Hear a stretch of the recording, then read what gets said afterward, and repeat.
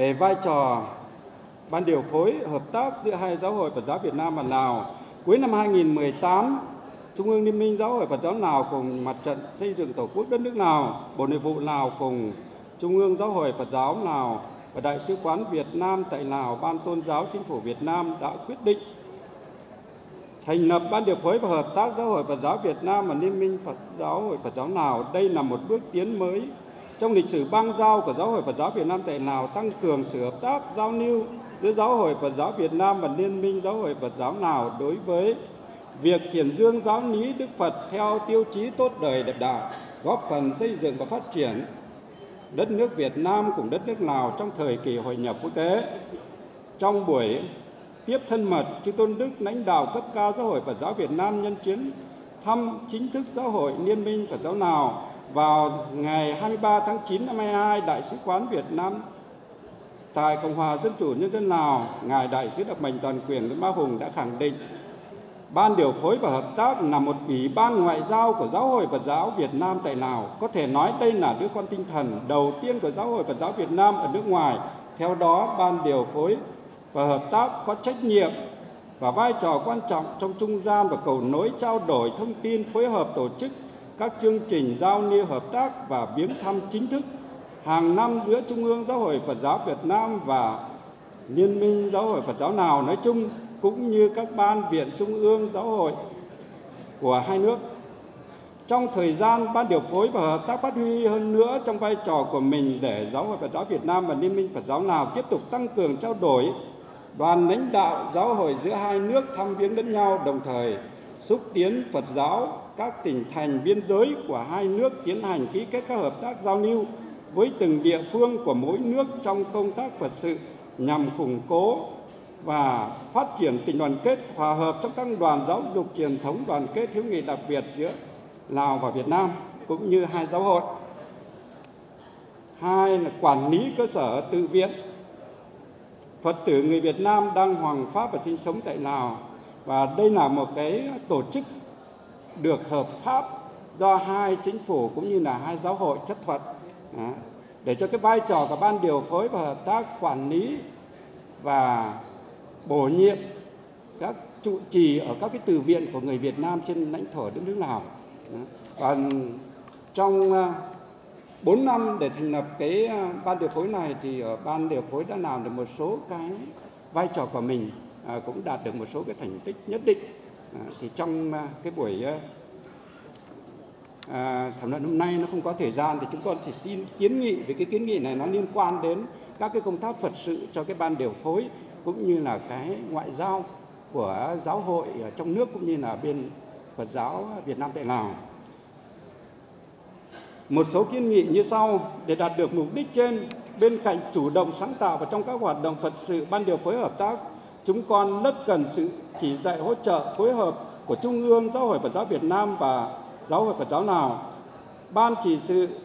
Giáo hội Phật giáo Việt Nam ở các tỉnh thành nói riêng qua một số kiến nghị như sau. Ban điều phối hợp tác là tổ chức duy nhất đại diện tiếng nói chung của tăng ni Phật tử cộng đồng người Việt Nam đang sinh sống tại Cộng hòa Dân chủ Nhân dân Lào. Cho nên chúng con kính xin chư tôn đức lãnh đạo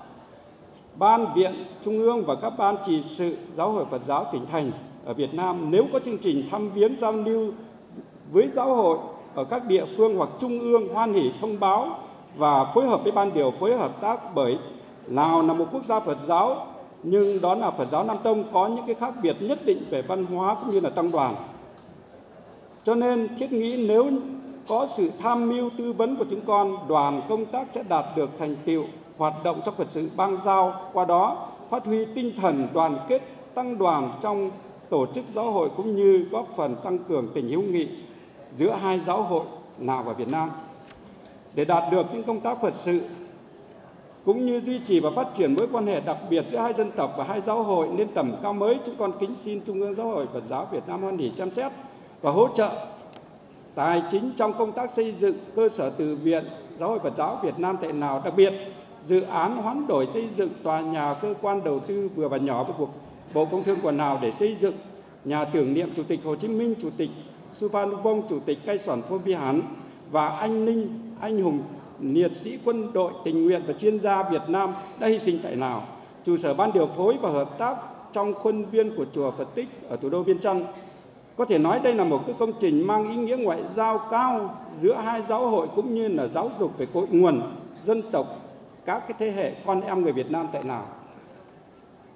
Kính bạch Chí Tôn Đức, Giáo phẩm Trung ương Giáo hội Phật giáo Việt Nam, chúng con đã nỗ lực hết mình nhưng vì dịch bệnh và ảnh hưởng hậu Covid,